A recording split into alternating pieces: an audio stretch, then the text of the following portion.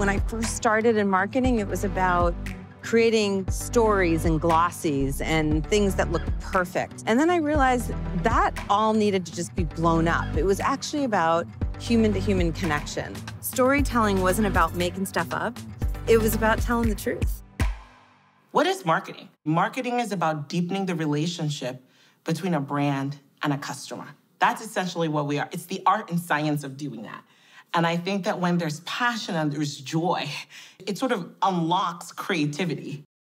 It's been a year of just rapid digital acceleration. What advice do you have to younger people, aspiring marketers looking to get into the business? I would say be unstoppable. I like to wrap it up in three C's. The first one is curiosity, the second one is courage, and the third one is conviction because your curiosity gave you the knowledge, your courage gave you the, the fearlessness to put into an action plan. The conviction is going to give you the resilience to carry it all the way across the finish line.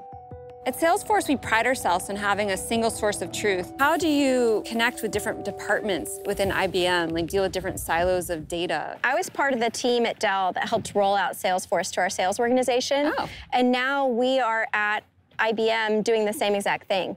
And so that's one way that we can get one source of the truth and all get on the same page in terms of the tools that we're using. But the other thing that I observed when I came to IBM, and it's so common in big B2B tech organizations, we basically have 40 marketing organizations at IBM, which I actually want to build into one marketing organization that works together to move the market. That's a big change that we're thinking about doing, and your tools actually underpin a big part of that. You've said that 20th century marketing was about selling, but 21st century marketing is about listening. Explain that to me. So we were looking at the likes of a Patagonia and a Nike and the Oakleys and just these great iconic brands. And one of the things we saw last century was that they were very good at sort of creating message. Nike, just do it. We absolutely understand the value of doing that. But we think what's happening in the 21st century, at least for a company like Strava, is it's really not our ability to have the right message. It's our ability to take all this information that's coming in from our athletes and listen in a way where we can create personal experience. It's going to be our ability to understand Sarah, the runner on Strava, and provide you with the information that you need to go have a successful day, much more so than just delivering that, that iconic brand message. And what advice do you have for marketers that are trying to explain their products as so eloquently as you do? Get to know your product management and your product marketing people.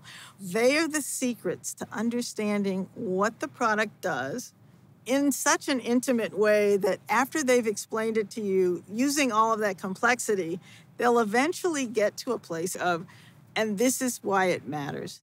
How did you transform this organization into using these modern marketing tactics? Failing fast. We tried some stuff we got the data from it. We figured out what made sense, what didn't make sense.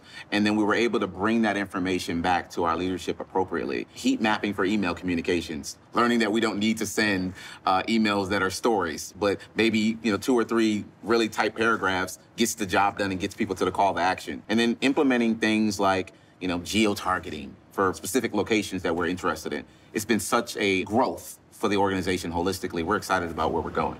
What do you think is the future of marketing for brands and experiences? We created a whole program of what that would look like. And it was all about enhancing the skills of our organization so that they felt like they could be confident to be bold in that space. The future is bright. We have the metaverse coming. Who knows what this physical space will be virtual? I can't tell you everything. no, tell, but tell. I'm dream I'm dreaming big and I'm excited about how hyper targeting, hyper personalization, AR, AI is going to take us to the next level of experience. We could be in the pocket of every Gen Zer if we do this well.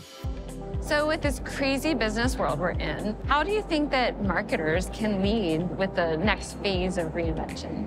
I always say, look, marketing is not to support, or is not to enable. We're not here to support the business. We're not here to enable the business. We are here to lead.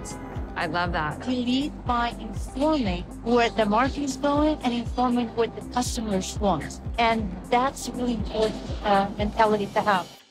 You've been just one of the most innovative CMOs out there. You're on every list and everybody admires you. How do you bring that innovation in every day? And how do you do things at a fast pace?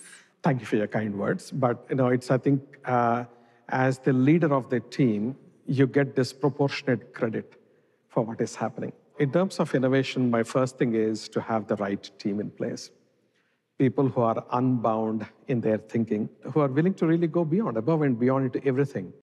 How does creating connections correlate into marketing? A lot of marketing is about curiosity and seeing a story and figuring out how to connect things together in order to drive growth for a business.